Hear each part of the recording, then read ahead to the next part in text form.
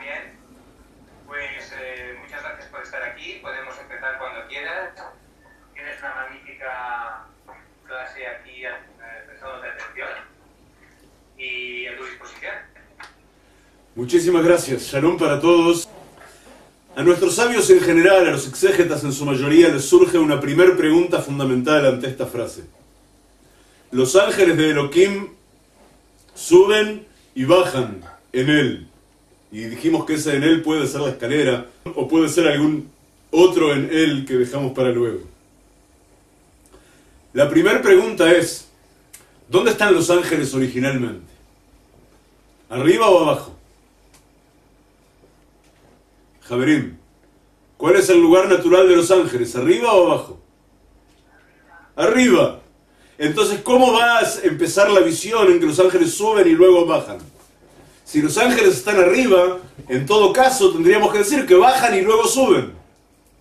Y sin embargo dice suben y luego bajan. O sea, hay varios niveles de respuestas para esta pregunta. Quien busca la palabra escalera en nuestro canal de YouTube va a encontrarse con un shiur, con un estudio de como tres horas, creo que fue, acerca de este tema en todos sus niveles de comprensión. Jacob se dirigía hacia afuera de la tierra de Israel. Esa es la primera explicación del sentido literal de lo que estamos estudiando, es que primero ascienden los ángeles. ¿Qué ángeles son los que ascienden a los cielos? Aquellos que le acompañaron y le cuidaron durante todo su tiempo en la tierra de Israel. ¿Y quiénes son los que descienden? No son los mismos. Son los ángeles que habrán de cuidarle y acompañarle ahora en lo sucesivo, al salir de la tierra de Israel. Pero yo sospecho que a vosotros, igual que a mí, no os contenta esta explicación. Yo prefiero que sean los mismos ángeles. Y es más, yo quiero licuar la pregunta completa y llevarla hacia otro lado. Dice Olim de Yordim, dice que suben y bajan, pero no dice que eso sea sucesivo. Del mismo modo que no dice que sea a lo largo de la escalera o a través de la escalera, sino dentro de él, no dice en ningún lado que sea una sucesión temporal eso de subir y bajar. Yo quiero creer que estos ángeles, que por supuesto están acá en la conciencia de Jacob, están en nuestra conciencia. Los ángeles no habitan mundos físicos, habitan mundos mentales, habitan mundo espiritual, habitan el mundo de mi conciencia precisamente. Y estos ángeles suben y bajan a una vez. Al mismo tiempo están subiendo y están bajando, dentro mío. De acuerdo a cómo mi conciencia tome la idea de los ángeles, me van a conducir hacia lo alto, me van a conducir hacia lo bajo. Van a atraer hacia mí de lo alto lo que yo estoy pidiendo y van a elevar hacia el Creador lo que yo tengo para elevar. Malachei Elohim, los ángeles de Elohim, Olim de Yordimbo. Habla la Torá en el libro de Baikra, de Levítico, acerca de qué ofrendas debe traer una mujer que da a luz. Y hay un verso, hay un verso allí, que dice que ha de traer dos palomos. Y la Torá dice, Ejad leolá de Ejad hatat. Uno de los palomos va a ser ofrecido como una ofrenda que se llama olá. Hay varios tipos de ofrendas en el templo y otro va a ser ofrecido como ofrenda que se llama Hatat. En una breve panorámica de qué son estas dos ofrendas, vamos a decir así, de alguna manera son opuestos complementarios. La mujer que ha dado a luz, luego de su purificación, va a traer una ofrenda de olá. Olá quiere decir literalmente algo que se eleva. La olá es una ofrenda maravillosa es la única de todas las ofrendas o sacrificios que realizamos en el templo, de la que nadie disfruta que no sea el Creador. La olá se quema entera para producir el humo cuyo aroma va a agradar a los ojos del Creador. Reach la Hashem, un aroma que produce armonía, que es amable al Creador. El aroma ese del asado que todos gustamos, con un poco de chimichurri y con todo lo necesario la primera ofrenda que va a traer la mujer que ha dado a luz entonces es para Olá. Se va a quemar entera. Es cuando una persona entera se ofrece simbólicamente en Corban Olá y dice, Ribonosh Olam, amo del mundo, yo entero me pongo para ti. Yo hago tu voluntad, mi voluntad. Tomo tu voluntad para convertir la mía, para dar forma a la mía. Me asocio a tu voluntad y hago cuanto está en mis manos para ser expresamente parte de ti. Entonces me ofrezco a mí mismo en ofrenda de hola. El segundo, el segundo corbán, el segundo sacrificio la ofrenda de hatat, que sale de la palabra het, que quiere decir pecado. Pongamos por caso, una persona vive donde vivo yo, en el norte de Israel, cerca de la frontera con el Líbano, a poco menos de 200 kilómetros de Jerusalén, de Jerusalén, y en medio del Shabbat, vosotros sabéis que hay una cantidad enorme de prohibiciones, hay muchas actividades que no desempeñamos en Shabbat. Una de ellas, por ejemplo, nos está prohibido apagar un fuego en Shabbat. Y de repente, en medio del Shabbat, por error, no a propósito, por error, el tipo va y apaga un fuego sin querer. Le da una patada, le da un puntapié a algo en lo que estaba encendida una mecha dentro de aceite. Vaya a saber, derrama agua apaga un fuego, apaga una candela. Ese hombre inmediatamente tiene que ofrecer, expiar su falta con una ofrenda que se llama de Hatat. Y trae un animal al templo y lo entrega a los sacerdotes, a los Kohanim.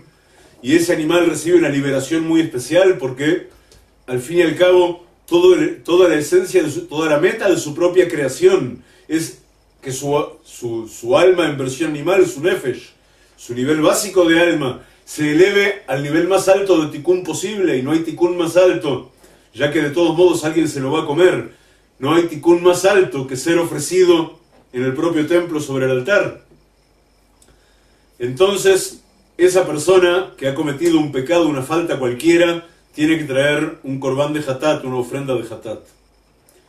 Entonces tenemos que esta señora que da a luz trae primero un corbán, un sacrificio de Olá, una ofrenda que se entrega entera al Creador y nadie va a recibir beneficio de ella, y a continuación una ofrenda de Hatat, una ofrenda que tiene que ver con expiar toda falta que sea. Nuestros sabios en general se sorprenden mucho de este verso.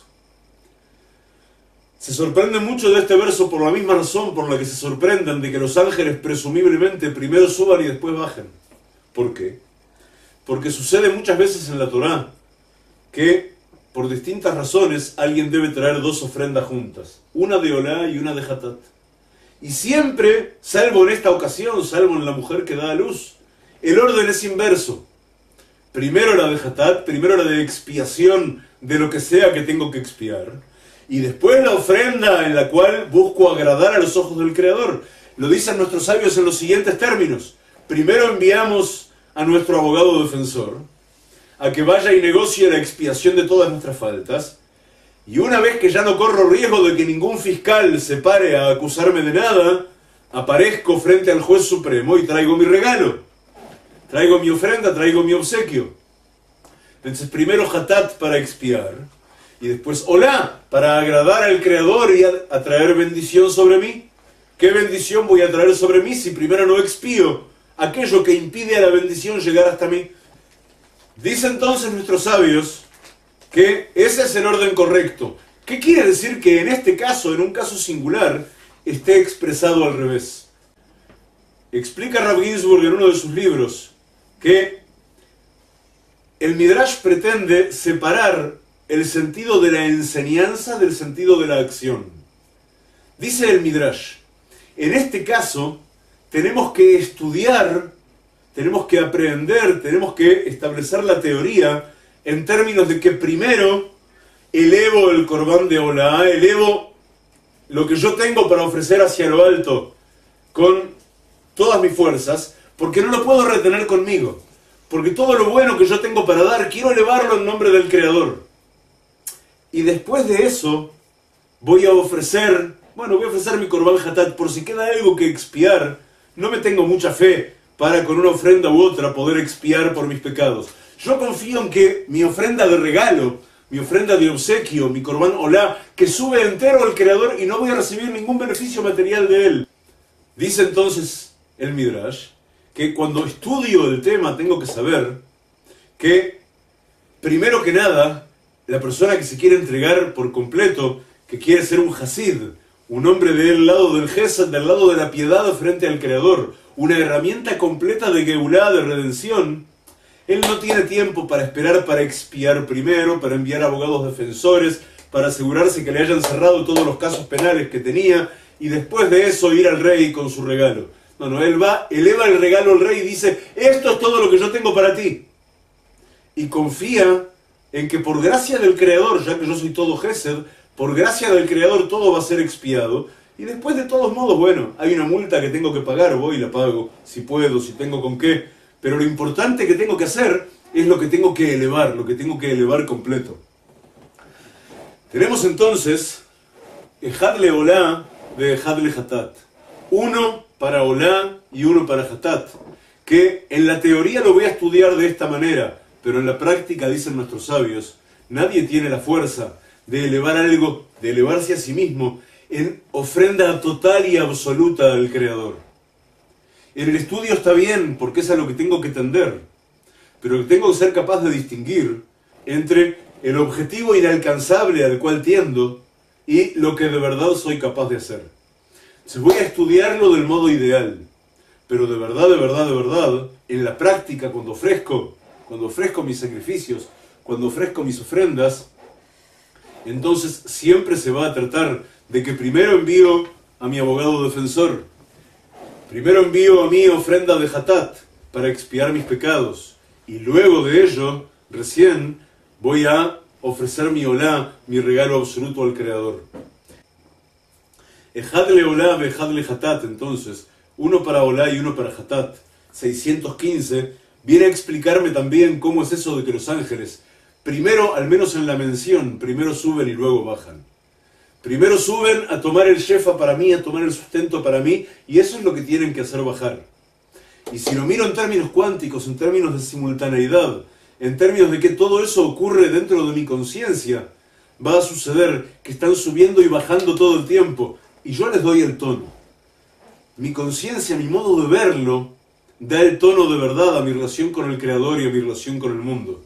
Como dice aquel proverbio jasídico, tan difundido hoy día, piensa bien y será bien. Bueno, piensa bien y será bien, va hasta las últimas consecuencias. Bo, en él, a mí ya no me cierra más que tenga que ver con la escalera. Yo creo que tiene que ver con Yaakov. Yo creo que tiene que ver conmigo. Creo que cuando digo que los ángeles de Elohim suben y bajan en él, estoy diciendo en mí.